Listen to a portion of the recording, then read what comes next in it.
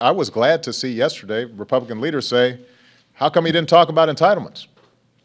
I think that's progress because what we had been hearing made it sound as if we, if we just slash deeper on education or, you know, uh, other uh, provisions in, in, the, uh, in domestic spending, that somehow that alone was going to solve the problem. So I, I welcome, I think it was significant progress that uh, there is an interest uh, on all sides uh, on those issues.